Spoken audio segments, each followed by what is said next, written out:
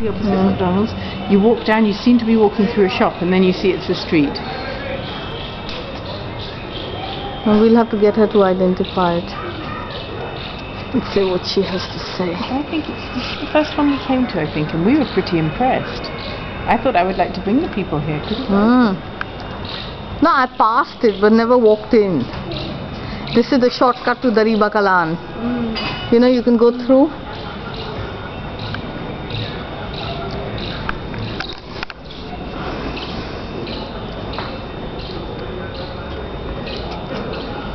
It's just, actually, so, such a lot. It's almost got as much as five Yeah, I,